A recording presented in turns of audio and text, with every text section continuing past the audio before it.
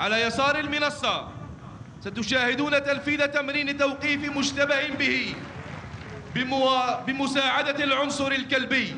فبعد تتبع العربة المشبوهة وإجبارها على التوقف سيتم تثبيت السائق والأفراد بالسلاح. وحين يفر أحد المشتبه بهم يتم تحرير العنصر الكلبي لإيقاف المجرم. In front of you now, a group of special forces carrying out a vehicle interdiction exercise.